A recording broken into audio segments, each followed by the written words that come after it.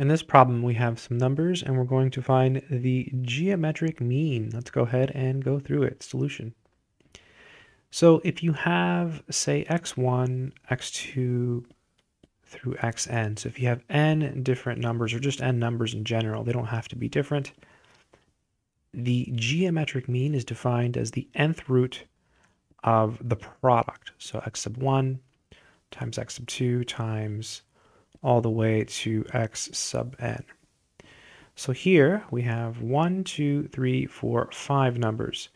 So n will be 5. And so we have g is equal to the fifth root of, and then we just have the product. 2 times 4 times 8 times 16 times 32. And so if you work this out, put this uh, in your calculator, uh, you get 2 times 4 times 8 times 16 times 32.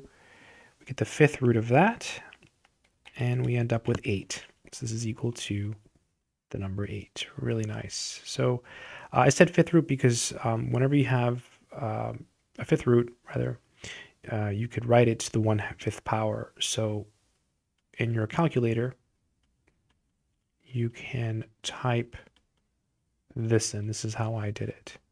And that's how I got 8. So yeah, good luck.